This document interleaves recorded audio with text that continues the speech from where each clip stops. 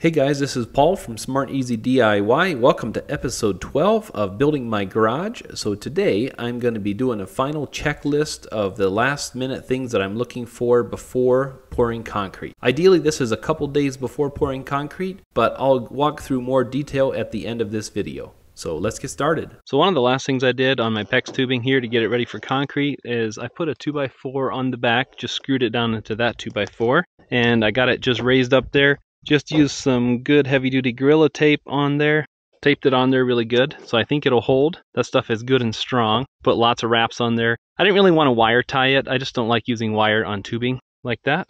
That's what I did, and it seems to work good. I'm just going to keep it up out of the way for the concrete. That's my main concern. And even the board that I did down there, I think I talked about it when I set that up, but I made sure that that is up out of the way of the concrete. So right here, just to show you the backside, which doesn't look pretty, but I made sure if you look down here and go underneath there to the other side, there's about two inches of clearance under that board. So I wanted to make sure to give them as much room as I could to put their trowels and stuff around there to get the concrete worked under there. So that's kind of my plan there. So the only thing really that I have left on that part is I'm going to spray foam in the conduits there, which I'll show you that when I do it. I want to make sure to foam in there so no concrete or gravel can get in there to chafe on the tubing over its lifespan. So that's my biggest concern with that. So I'm going to fill that in any of the other cracks and stuff that I have around here. I had told you earlier that I like to run this PEX inside the one inch conduit 90s because it protects it when it's going up through the concrete floor. The reason for doing one inch is the half inch PEX goes through here easier, but I actually had to do a couple in three quarter when I added that last run because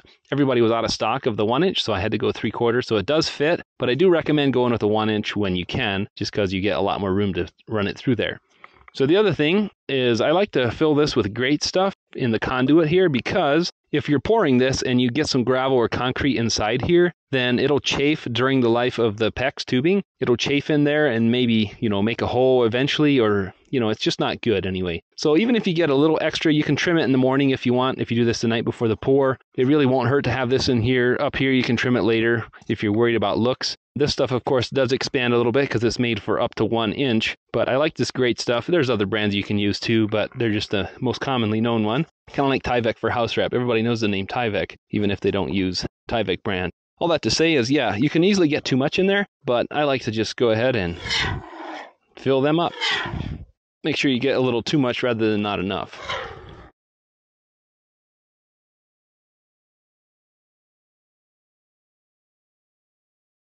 And if I do have a little extra, I'll probably trim it off in the morning. I filled the water line, and that, of course, got way too much. But I also wanted to fill around any of these pipes. I filled around here, which I don't think it's really going to matter. I don't think concrete's going to seep under there, but I thought I'll seal it off just in case. This is where I left that box open for the shower, so I'm going to pull that out anyway. But yeah, any kind of pipes, penetrations like this, I like to seal it off. That's why when you're cutting this stuff, you don't have to be exact if you're going to do this, because that takes care of any discrepancies.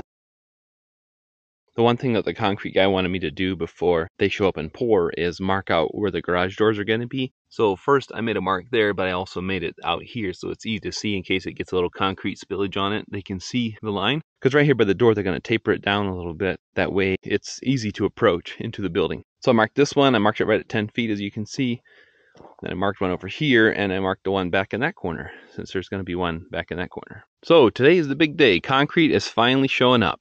So I wanted to go through checklists really quick of the things that I went through to think about before you pour. Now, you want to think about this before it's the last minute, of course, but I did it already last night, went through everything, but I wanted to just go over everything this morning with you guys since it's clear and the footage will be better. So, the one thing, I don't know what code is where you are, but what I did here is I wanted to wire tie my rebar every other. I skipped one made sure that every other one was done. Now, some of them are going to be closer together because I did all the laps where they come together, you know, whichever way they're running. So I went through the whole thing one way, like this way, and then down this way, and made sure that every other one was tied. So hopefully, when they go to pull this together, they're going to pull it up with a rake and stuff as they're pouring, but that's going to pull up nicely like that.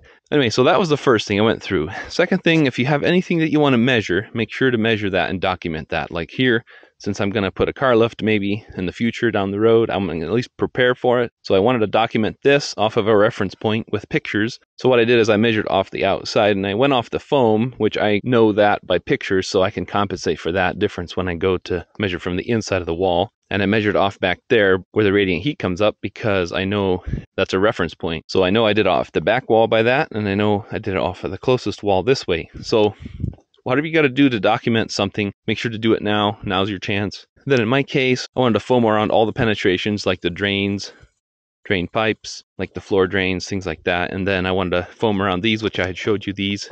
So that's another thing. Make sure that that's all done if you're going to do that. So yeah, make sure everything's tied off. Mark your garage doors if there are some, if they require that for the openings. So that's something as well. And of course, you have been maintaining pressure over the last couple of days. And like I said, it gets down to about 72, 73 during the night when it cools off.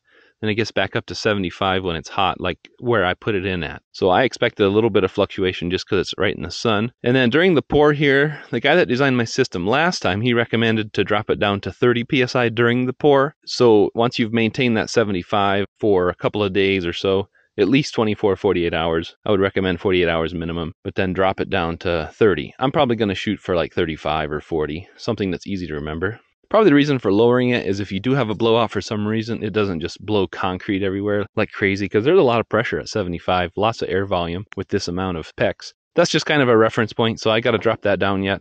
But I got everything marked out. The one last thing I want to show you that I did is I went through and marked where all the stakes are, especially on the side here where they could potentially drive down. This is a little tight up here where the bank is, so he said they might shoot everything from that side. So my spot isn't as accessible as some of them, but what I wanted to do is go through and mark where all the stakes are, make a big mark so that the truck can see when he's backing in you can see right where my stakes are. So I use some good marking paint, high vis marking paint. So you can see they go back and forth a little based on where the braces are, but I wanted to mark those all out. I did the front here as well, just the stakes. I didn't make extra marks because they're just backing in straight to here. So that's the front. And then on this side, I marked this one out as well so that they can see this really well with their mirror. This is a little bit narrow as well. It's not super wide, but I do know that the conveyor truck guy came in here and he had lots of room. So he made it okay. So concrete truck can make it. So the concrete guy, the guy that's in charge of pouring it, he said that there's plenty of room here. He came out and did a site evaluation and said he can pour it all from this side if he has to. So they're going to just see what the trucker's comfortable with. I know the concrete guys are used to working around all kinds of stuff, but I thought if I put a little paint on it, maybe they'll trip on them less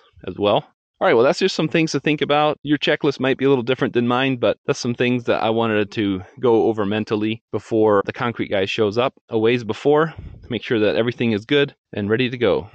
All right, guys, well, keep an eye out for the next episode. It is going to be pouring the concrete floor. Finally, there's so much prep to get to this stage, but it's finally here. I did hire someone else to do it because it is very labor intensive for just one or two guys. So stay tuned. Thanks for watching, guys.